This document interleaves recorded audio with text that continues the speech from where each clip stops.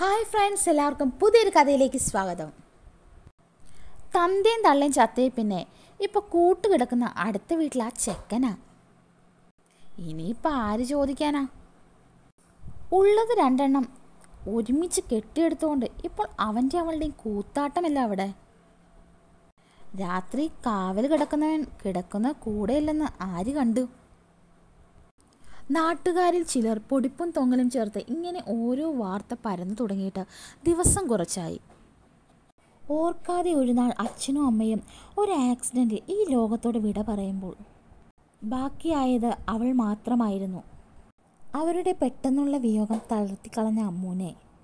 ഒന്ന് ആശ്വസിപ്പിക്കാനോ കൂടിയിരിക്കാനോ അടുത്ത ബന്ധുക്കൾ എന്ന് പറയാൻ ആരുമില്ലെന്ന് അറിയിക്കാതെ ആ അവസ്ഥയിൽ നിന്നും അവളെ തരണം ചെയ്യും വരെ കൂട്ടായി നിന്നത് അടുത്ത വീട്ടിലെ രാധേച്ചിയായിരുന്നു ഒറ്റപ്പെട്ടു പോയ അവളെ ആ വേദന അറിയിക്കാതെ എന്നും കൂടെ തന്നെ നിൽക്കുമ്പോൾ എല്ലാ സഹായങ്ങൾക്കും അവർക്കൊപ്പം രാധയുടെ മകനും ഉണ്ടായിരുന്നു.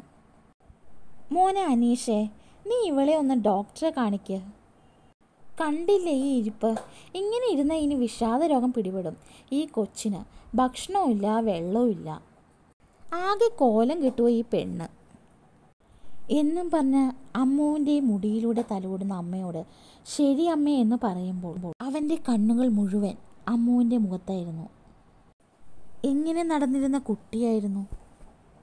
ഒറ്റ മകളായതുകൊണ്ട് തന്നെ അച്ഛനും അമ്മയും മത്സരിച്ചായിരുന്നു അവളെ സ്നേഹിച്ചതും.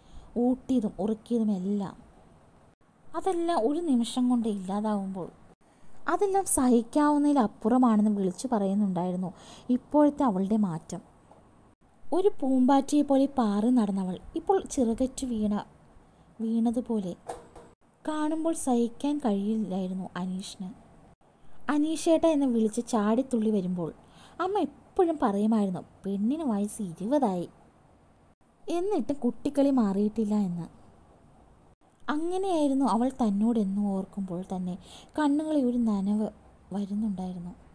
അന്ന് അവളെ കാറിലെ മുൻസീറ്റിലിരുത്തി ഹോസ്പിറ്റലിലേക്ക് പോകുമ്പോൾ ഒരു വാക്ക് പോലും പറയാതെ എങ്ങോട്ടോ നോക്കിക്കൊണ്ട് എന്തോ ആലോചനയിൽ എന്ന പോലെ ഇരിക്കുന്ന അമ്മുനെ ഇടയ്ക്കിടെ ഒന്ന് ഇടം കണ്ണിട്ട് നോക്കുന്നുണ്ടായിരുന്നു അവൻ. അമ്മു ഇടയ്ക്കൊന്ന് അവൻ നീട്ടി വിളിച്ചപ്പോൾ ഒന്ന് തലതിരിഞ്ഞ് നോക്കിയതല്ലാതെ ആ മുഖത്ത് വലിയ ഭാവമാറ്റമൊന്നും കാണാത്തത് അവനെ വല്ലാതെ സങ്കടപ്പെടുത്തി. തിരികെ വീട്ടിലെത്തുമ്പോഴും അവൾക്ക് വലിയ മാറ്റമൊന്നുമില്ലായിരുന്നു. പക്ഷേ അവളെ അങ്ങനെ ഒറ്റപ്പെട്ടൊരവസ്ഥയെ തള്ളിയിടാൻ കഴിയില്ലെന്ന് മനസ്സാൽ ഉറപ്പിച്ച് അവൾക്ക് പിന്നിൽ തന്നെ എല്ലാം ചോദിച്ചറിഞ്ഞ് ചെയ്യാൻ കൂടെ അവനും എന്നും ഉണ്ടായിരുന്നു. പതിയെ പതിയെ അവൾ പഴയ അവസ്ഥയിലേക്ക് തിരികെ വരുമ്പോൾ ഇടയ്ക്ക് എപ്പോഴും അവളും ചോദിച്ചിരുന്നു. ആരുമില്ലാത്ത എന്നെ എന്തിനാ അനീഷേട്ടാ ഇങ്ങനെ സ്നേഹിക്കുന്നതെന്ന് അവളുടെ ചോദ്യം കേട്ട് അവൻ വെറുതെ ഒന്ന് ചിരിക്കുമ്പോൾ അവളെ നോക്കിക്കൊണ്ട് പറയുന്നുണ്ടായിരുന്നു. അങ്ങനെ ആരുമില്ലെന്ന് കരുതി വഴിയിൽ ഉപേക്ഷിച്ചു പോകാൻ പറ്റില്ലല്ലോ മോളെ നിന്നെ. ഞാൻ നിന്റെ അനീഷേട്ടനല്ലേ എന്ന്. അവന്റെ മറുപടിയിൽ പ്രത്യേകിച്ചൊന്നും തോന്നിയില്ലെങ്കിലും ഇടയ്ക്കൊക്കെ അവൾ ആലോചിക്കാറുണ്ട്. അനീഷേട്ടന എന്നോട് പ്രേമമാണ് ഈശ്വര. ആ മനസ്സിൽ തന്റെ സ്ഥാനം എന്താണെന്ന് അറിയുന്നില്ലല്ലോ എന്ന്. അച്ഛന്റെയും അമ്മയുടെയും വേർപാട് മനസ്സിനെ തളർത്തി കളഞ്ഞപ്പോൾ അമ്മയെപ്പോലെ പരിചരിക്കാൻ എന്നും രാധ ഉണ്ടായിരുന്നെങ്കിലും തൊഴിലുറപ്പ് പദ്ധ പണിക്ക് പോകുന്ന രാധ ഇല്ലാത്ത സമയം. തളർന്നിരിക്കുന്ന അവളെ വാശി പിടിക്കുമ്പോൾ വാരി ഊട്ടിയതും അവളിട്ട തുണികൾ ഒരു മടിയും കൂടാതെ അലക്കിയിട്ടതെല്ലാം അനീഷേട്ടനായിരുന്നു. അവളോടുള്ള ഇഷ്ടം അവന്റെ ഓരോ പ്രവൃത്തിയും തെളിഞ്ഞു കാണുമ്പോൾ അതിലെല്ലാം അസൂയ പോണ്ടത് നാട്ടുകാരിൽ ചിലറായിരുന്നു കണ്ടില്ലേടി രാധയുടെ ചെക്കന്റെ ഓരോ പണികളെ. ആ പെണ്ണിട്ട് അടിവസ്ത്രം വരെ അലക്കി കൊടുക്കുന്നത് അവനാ. ഒന്നും കാണാതെ അവൻ ഇവിടെ ഇങ്ങനെ ചുറ്റിപ്പറ്റി നിൽക്കില്ല. മധുരമുള്ള സാധനം കണ്ട ഏതുറുമ്പോ ഒന്ന് നുണഞ്ഞു നോക്കും. മുന്നിൽ ഇരുപതുകാരിയല്ലേ ഇരിക്കുന്നത്? ചോദിക്കുമ്പോൾ ആരും ഇല്ലതാനും തൊട്ടുതഴലിന്റെ ആ രുചി പെണ്ണുകൂടി ഒന്ന് അറിഞ്ഞാൽ പിന്നെ. അതും പറഞ്ഞ് ഊറിച്ചിരിക്കുന്ന അയൽപ്പക്കക്കാരുടെ നോട്ടവും സംസാരം അവളുടെ ചെവിയിൽ ഒരു നാൾ എത്തിയപ്പോൾ അവൾക്കതൊരു ഷോക്കായിരുന്നു. ഇല്ലാത്ത കാര്യങ്ങൾ കെട്ടിച്ചമയ്ക്കുമ്പോൾ അങ്ങനെ ഒന്നില്ലെന്ന് തെളിയിക്കാൻ പോലും കഴിയാത്ത അവളെ. അവൻ വല്ലാതെ കുത്തി നോവിക്കുന്നുണ്ടായിരുന്നു അയൽപക്കക്കാർ. ഇതിലും ഭേദം അന്ന് അച്ഛന്റെയും അമ്മയുടെയും കൂടെ തന്നെയും കൂടി അങ്ങ് എടുക്കാമായിരുന്നില്ലേ ദൈവമേ എന്ന് മനസ്സൊരുകി പ്രാർത്ഥിക്കുമ്പോൾ. ഇനിയെങ്കിലും ആർക്കും ബുദ്ധിമുട്ടും മറ്റുള്ളവർക്ക് ചിരിക്കാൻ ഒരു പരിഹാസ കഥാപാത്രമായി ആവാതെ അങ്ങ് മരിച്ചാലും എന്ന് പോലും തോന്നി അവൾക്ക്. അമ്മൂട്ടി ദേ ഇത് നിനക്കുള്ളതാ. കാലിൽ പാസനം പൊട്ടിയിട്ട് കുറേ ആയില്ലേ?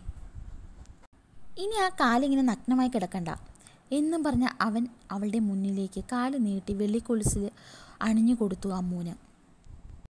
പിന്നെ അതിൽ നിന്ന് കണ്ണെടുത്തുകൊണ്ട് അവന്റെ മുഖത്തേക്ക് നോക്കി ചോദിക്കുന്നുണ്ടായിരുന്നു.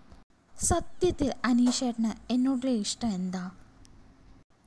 ഏട്ടൻ എന്റെ കാര്യത്തിൽ കാണിക്കുന്ന ഈ കെയറിങ് ഇപ്പോൾ മറ്റുള്ളവർക്ക് പറഞ്ഞു ചിരിക്കാനുള്ള അവിഹിതമായി മാറിയിട്ടുണ്ട്. പക്ഷേ നമ്മൾ തമ്മിൽ എങ്ങനെയാണെന്ന് ആരെയും ബോധിപ്പിക്കേണ്ട ആവശ്യം എനിക്കില്ലാത്തതുകൊണ്ട് ആരെയും ഒന്നും ബോധ്യപ്പെടുത്തേണ്ട കാര്യമില്ല.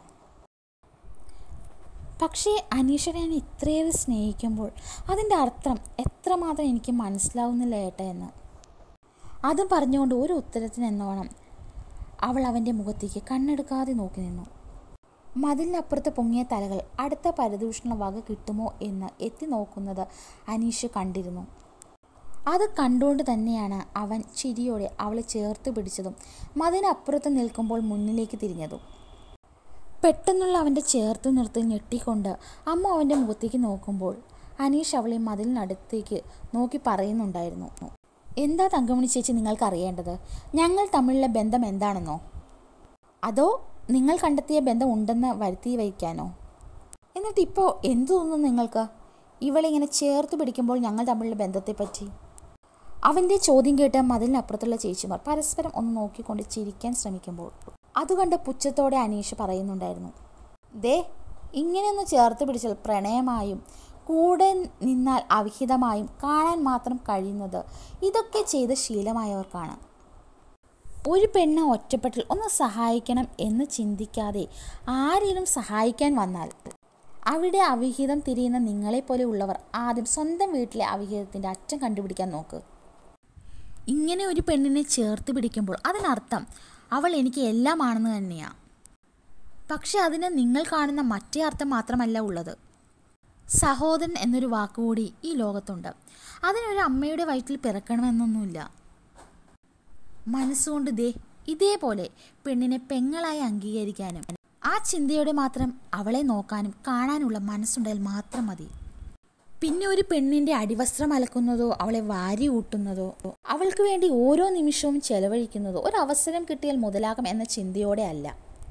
എനിക്ക് അമ്മയുണ്ട്. അവരും ഒരു പെണ്ണാ. എന്റെ അമ്മയ്ക്ക് വയ്യാതാവുമ്പോൾ എന്തൊക്കെ ചെയ്തു കൊടുക്കാറുണ്ടോ? അതൊക്കെ തന്നെയാണ് ഞാൻ ഇവിടെയും ചെയ്യുന്നത്. അതിന് എനിക്ക് കുറച്ചിട്ട് തോന്നാത്ത ഇവൾ എന്റെ പെങ്ങളായതുകൊണ്ട് മാത്രമാണ്. ഒരു പെണ്ണ് ഒറ്റപ്പെട്ടിൽ അവളെ എങ്ങനെ കാമിക്കുമെന്ന് ചിന്തിക്കുന്ന നിങ്ങളുടെ മക്കളുടെ സ്വഭാവം വെച്ച് നാട്ടിലെ എല്ലാ ആണുങ്ങളെയും അളക്കാൻ നിന്നാൽ ഇനി ഒന്ന് ഓർത്തോ. നിങ്ങളുടെ ആ പുഴുത്ത ആ നാക്ക് വെച്ച് ഇനി വല്ലതും പറഞ്ഞാൽ ഈ പാവത്തിന്റെ കണ്ണീര് നിറഞ്ഞാൽ. ഒരു ആങ്ങളയുടെ ഉത്തരവാദിത്തം എന്താണെന്ന് അന്ന് നിങ്ങൾ കാണും. പറഞ്ഞില്ലെന്ന് വേണ്ട. കേട്ടല്ലോ. അതും പറഞ്ഞവൻ അമ്മുവിനെ ഒന്നും കൂടി ചേർത്ത് പിടിച്ചുകൊണ്ട് തിരിഞ്ഞു നടക്കുമ്പോൾ മതിലിനപ്പുറത്തുള്ള തലകൾ ജാളിയതയുടെ അകത്തേക്ക് വലിഞ്ഞിരുന്നു. അതേസമയം അവളുടെ നോട്ടം മുഴുവൻ അനീഷിന്റെ മുഖത്തായിരുന്നു. അവളുടെ ആശ്ചര്യവും സന്തോഷവും നിറഞ്ഞ ആ നോട്ടം കണ്ടവൻ അവളെ നോക്കി കണ്ണിറുക്കി കാണിക്കുമ്പോൾ പോക്കറ്റിൽ നിന്ന് അവൾക്കായി വാങ്ങിയ പാദസരം എടുത്ത് അവൾക്ക് നേരെ നീട്ടിക്കൊണ്ട് പറയുന്നുണ്ടായിരുന്നു. ഇപ്പം മോളുടെ സംശയമൊക്കെ തീർന്നില്ലേ? അപ്പോൾ ഏട്ടൻ അനിയത്തിക്കുട്ടി ഇതൊന്ന് കെട്ടിക്കേ. അതും പറഞ്ഞ പുഞ്ചിരിയോടെ നിൽക്കുന്ന അവനെ അവൾ ഇമചിമാതെ നോക്കുമ്പോൾ അവളുടെ കണ്ണുകൾ നിറഞ്ഞൊഴുകുന്നുണ്ടായിരുന്നു ഒരിക്കലെങ്കിലും ആ മനസ്സിനെ താനും തെറ്റിദ്ധരിച്ചല്ലോ എന്ന് ഓർക്കുമ്പോൾ അവളുടെ മനസ്സ് നിറയുന്നുണ്ടായിരുന്നു. ആ നിറ കണ്ണുകളോടെ തന്നെ അവൾ ആ മുന്നിലെ തിട്ടയിലേക്ക് ഇരുന്നു ഇട്ടിരുന്ന പാവാട മെല്ലെ മുകളിലേക്ക് ഉയർത്തിക്കൊണ്ട് പറയുന്നുണ്ടായിരുന്നു ആ പാസ്റ്റർ എന്റെ ഏട്ടൻ തന്നെ കെട്ടിത്താ.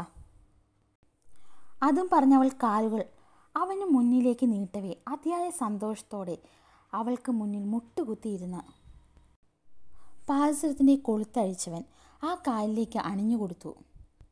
അവൾ ചോദിക്കുന്നുണ്ടായിരുന്നു പെങ്ങൾ അവൻ കൂടെ പിറക്കണമെന്നില്ല. ഇതേപോലെ പെങ്ങളായി സ്നേഹിക്കാൻ ഒരു മനുഷ്യനെ കിട്ടിയാൽ മതിയല്ലേ? ഈ കഥ ഇവിടെ പൂർണമാകുന്നു. അടുത്തൊരു മനോഹരമായ കഥയ്ക്ക് കാത്തിരിക്കുക. അതുവരേക്കും ബൈ.